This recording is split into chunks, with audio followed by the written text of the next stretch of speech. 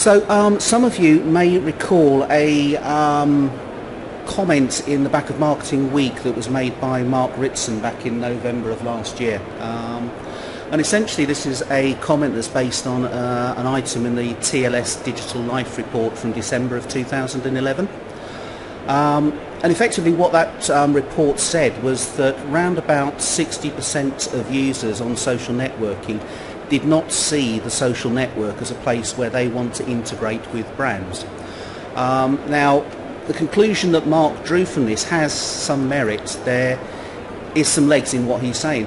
People that bought into the idea that if you bought into Facebook with 800 million users, um, you are going to start to see significant amounts of e-commerce revenue coming through, are actually finding out that that isn't the case. However, what we need to do is we need to look at the corollary to this, which is that if 61% of users don't want to integrate with Facebook, what the report didn't actually come out and say was that 40 odd percent of um, users of Facebook actually don't mind whether the brand um, interacts with them or not, and in fact are quite willing to interact with the brand.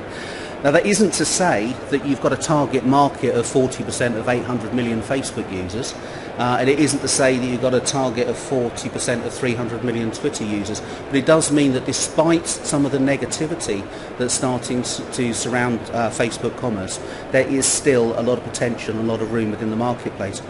So if you take that 40%, um, as a large proportion of the market and you compare it to your average e-commerce rates, which outside of food and wine retailing are somewhere between 2 and 7% uh, for each visitor that comes to your website.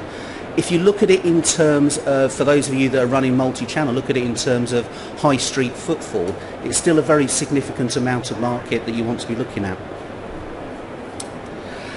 So the important thing we're finding with social commerce is, is to understand that it's not actually new. It's an extension of how retailers have retailed for a long, long time. Shopping, commerce, has always been social. It's only recently when we started to invent for ourselves e-commerce that it became a little bit less social, a little bit more of a solitary activity for people.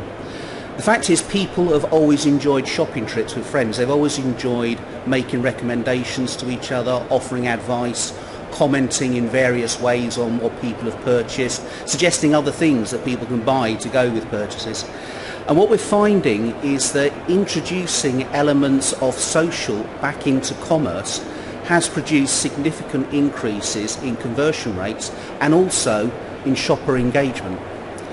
Now, if you look at the um, e-retailing group survey from the middle of 2011, approximately 61% of online shoppers always or would usually read a review before making any kind of a significant new purchase.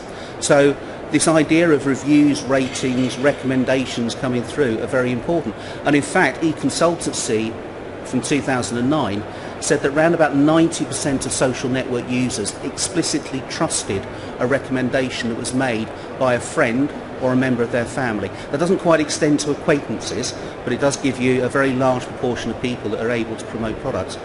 So a place like Facebook where people are sharing endorsements, they're sharing their finds, they're expressing their discoveries and their opinions with the rest of their social network is one of the best places to start to capitalise on what you're already doing, which is using your ratings and reviews. And we've found that where a brand facilitates the use of uh, social networking on their stores, where they encourage people to like, to share, to start to use the new Facebook verbs, then they get a significant increase in traffic coming from Facebook back to either their e-commerce site or indeed to their mobile commerce sites as well. So what we have within Facebook is this huge latent and growing demand for social commerce.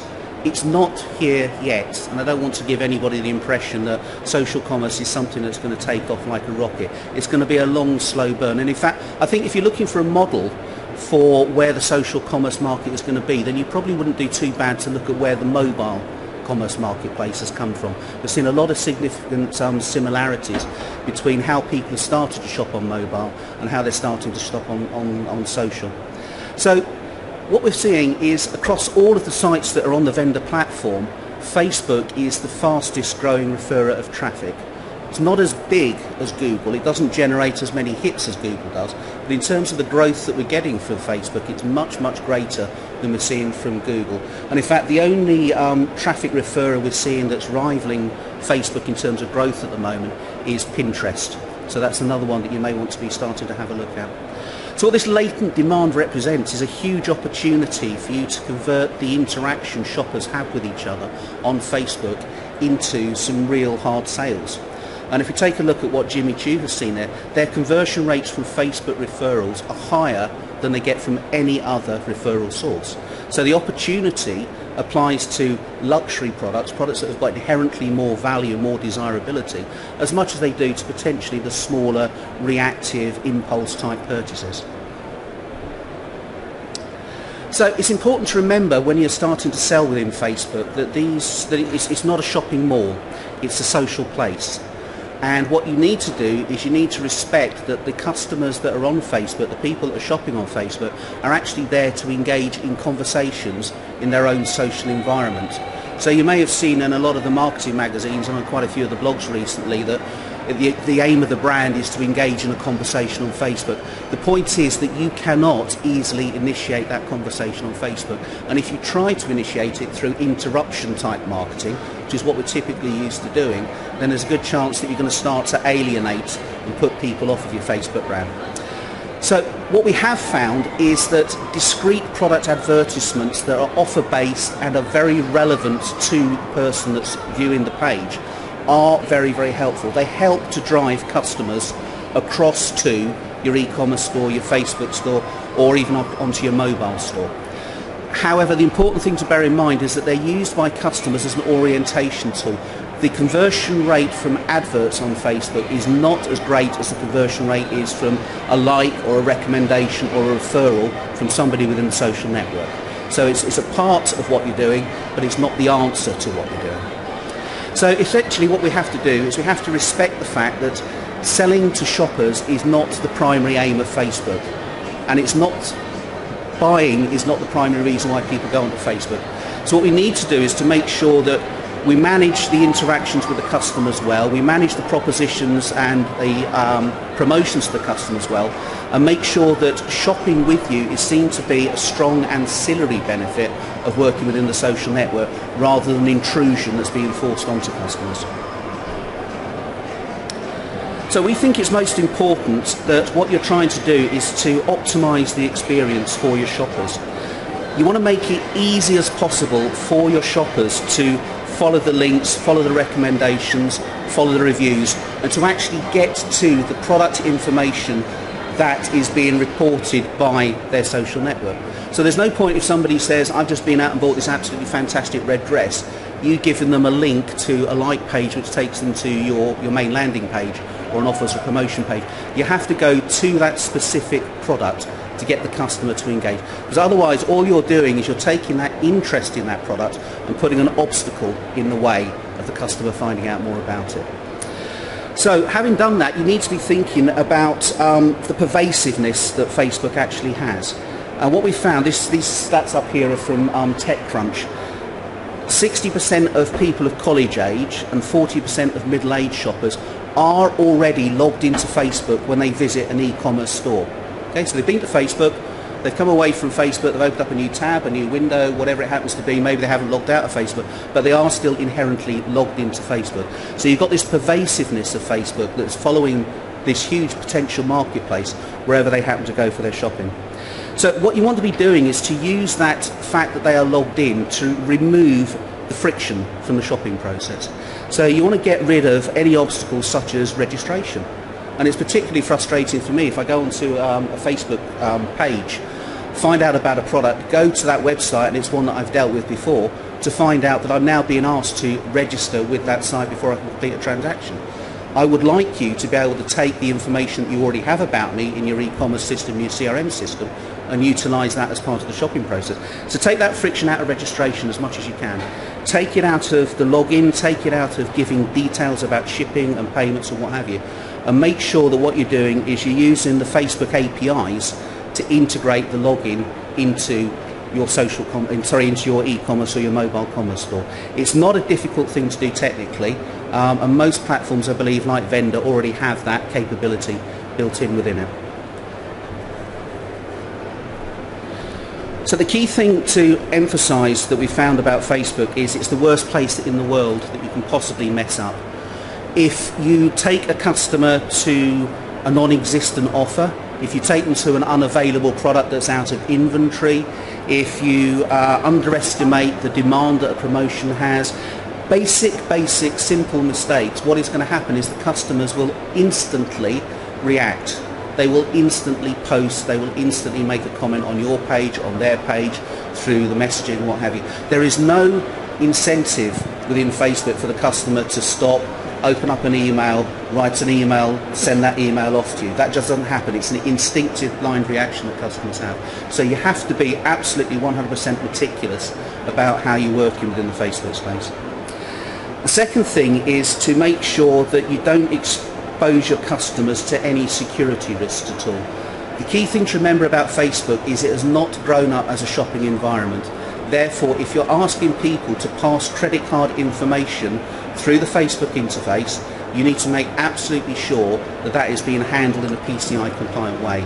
Okay, that's not a uh, a statement from us, that's a statement that's coming back from all of the credit card companies as well. If you're going to be taking data through whatever mechanism it is, it has to be PCI compliant. So whatever process that you're using to process this information, you need to make sure that your customers are very aware that the information is being handled correctly and is being handled in the right way bear in mind that anything that goes wrong with security on Facebook is guaranteed to instantly backfire. It will blow up in your face instantaneously. So you need to be 100% certain of what you're doing with that. So the, the key thing there, secure your payment flow to the minimum PCI standards.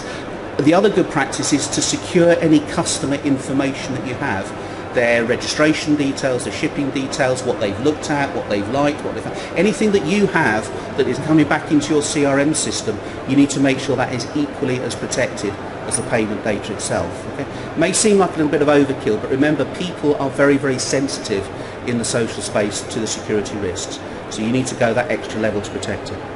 So the key thing there is to make sure that when a customer is adding something to the basket, when they're checking out, that they understand clearly what process they are going to be going through. So all of the good work that you've done on your e-commerce site, your mobile site about educating customers about how secure their data is going to be, how you handle it, how you look after it, what your risk mitigations are, all the rest of this good stuff that you do, you need to make sure you're doing that with spades as far as the, Facebook environment is concerned.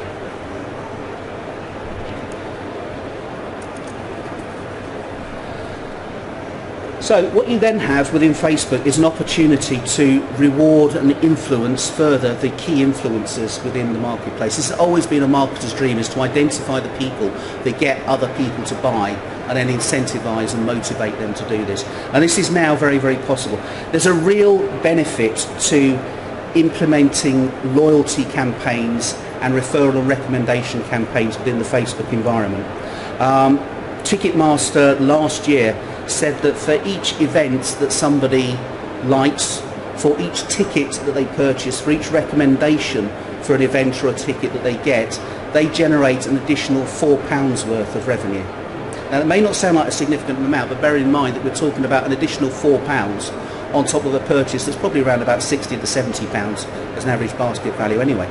So what you then have is a really strong, powerful selling channel in other words, you've got the shoppers that have bought from you are selling on your behalf to other people. It costs you nothing unless you're going to go over the top with your loyalty campaigns, but it generates significant real attributable value. Now I'll come on a little bit more, uh, a little bit later on to where, where that value is. A very cost-effective marketing channel and what you want to be doing is to go even further and integrate your social network and your CRM. So you want to be thinking about pulling in your loyalty points, your referral rewards, um, you want to be thinking about like gating particular offers for particular customers. Um, you need to be thinking about offering preview sales, this kind of thing. Essentially what you're doing is you're rewarding people for purchasing from you within the social environment, for recommending and referring within that social environment as well.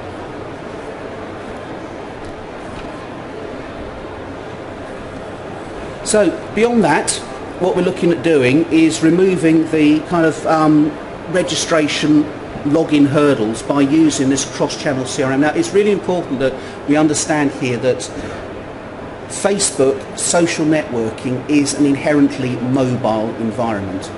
Most people are accessing their Facebook pages or their social networking pages through some form of a mobile device, either a smartphone or to a lesser extent via um, tablet technology. So you need to understand that if you're going to ask somebody to like, to make a recommendation, to make a referral, what you're also going to have to do is to make sure that they can be satisfied on the device that they're looking at. Okay? So there's no point in taking somebody from your Facebook page on a mobile phone to an e-commerce site which is browser based and doesn't fit into the form factor that they've got in their hand. You need to make sure that you're integrating it back into your mobile commerce site as well.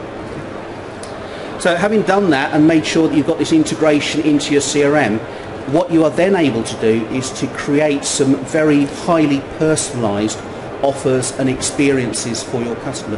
Now that starts off with a very fundamental thing of I've come to you from a Facebook site, I'm using my mobile phone, Last time I came on, you've remembered who I am because you've got all my login details, my information, my credentials, and now you can start to sell to me easily and effectively. You're not going to ask me to log in, you're not going to ask me to re-register, you're not going to ask me. You can even go to the point of saying, last time you came, you had some things in the basket. Can we make you a proposal to clear that basket out, buy that basket, add some more things to it? But it does require that integration between your e-commerce system, your social commerce system, your mobile commerce, and also your CRM system. The other thing we need to be thinking about is how do we integrate this back into the store? Because we've said right at the beginning of the presentation that shopping is a social thing. It's wrong to exclude the store if you're running a retail operation from use within the social networking as well. So what can you do to encourage people to use the social side of their interactions to go into the store and add things to the basket, give you the opportunity to upsell and cross-sell as well by offering them things like unique vouchers or unique offers, unique proposals.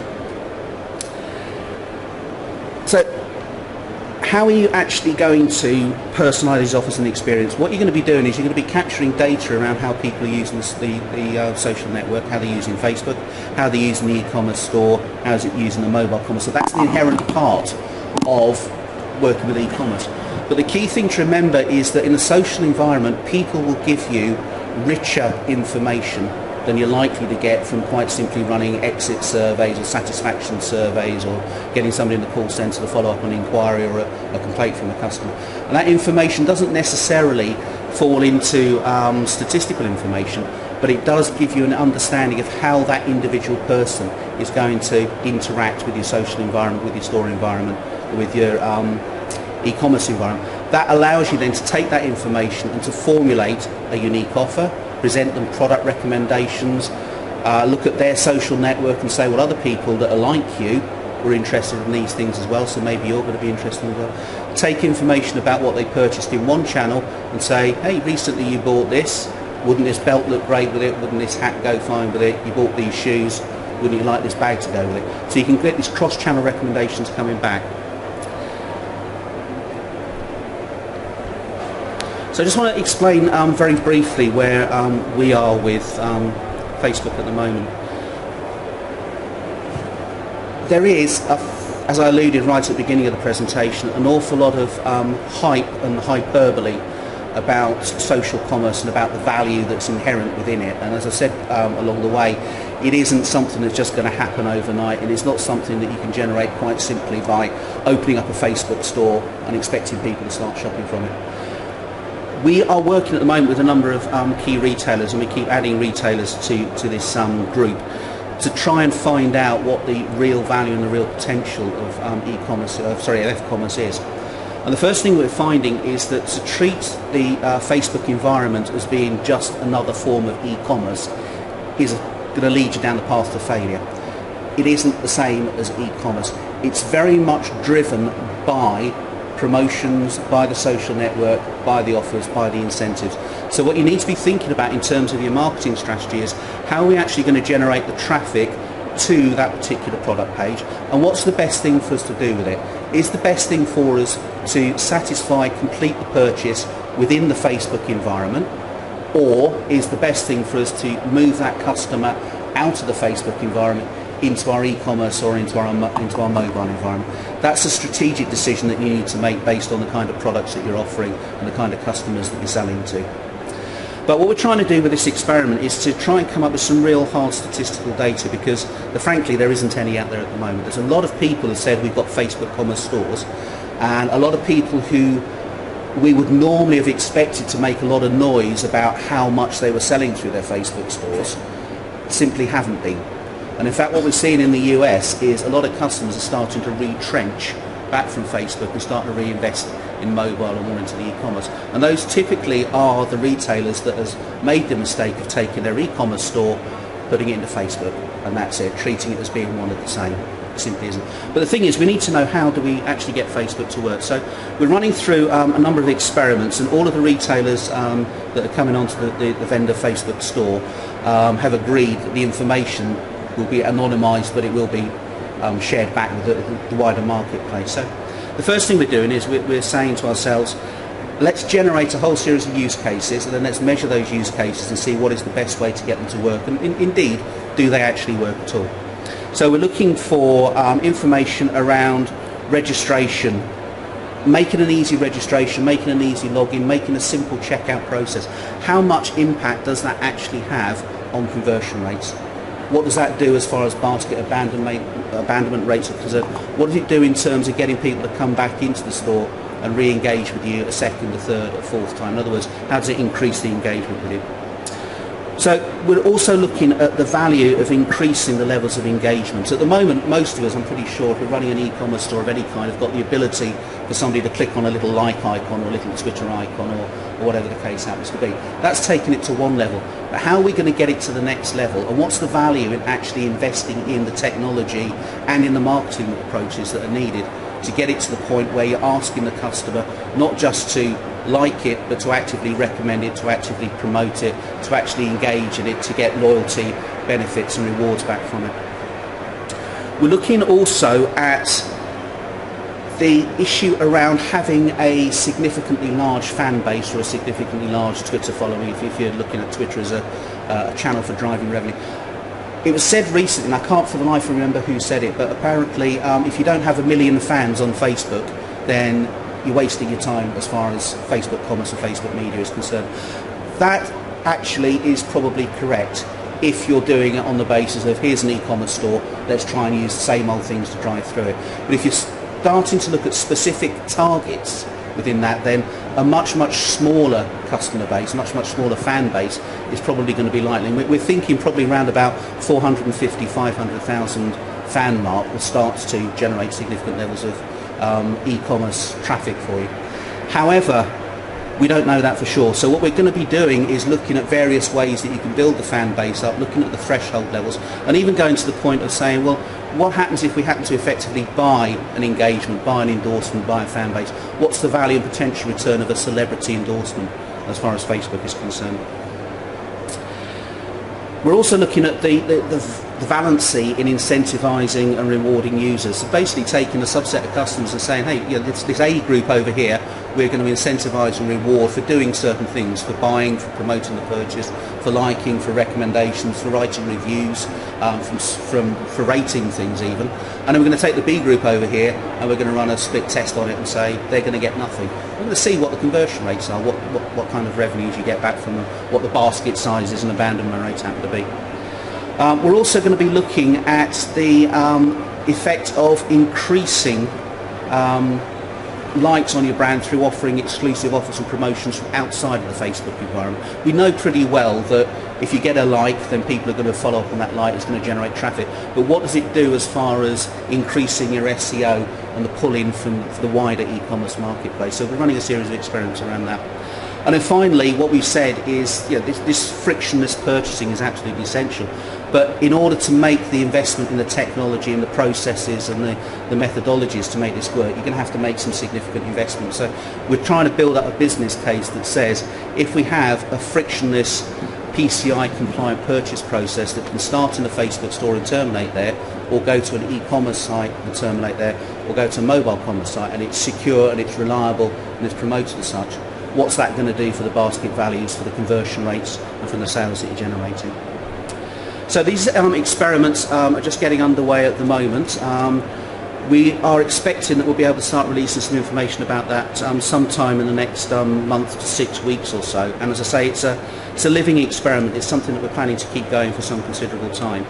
So, as I said, we're going to share that data. Um, we're not going to tell you who the retailers are, but we're going to um, anonymise it. But we will tell you what market sectors they're in, so you've got a fairly good idea about it.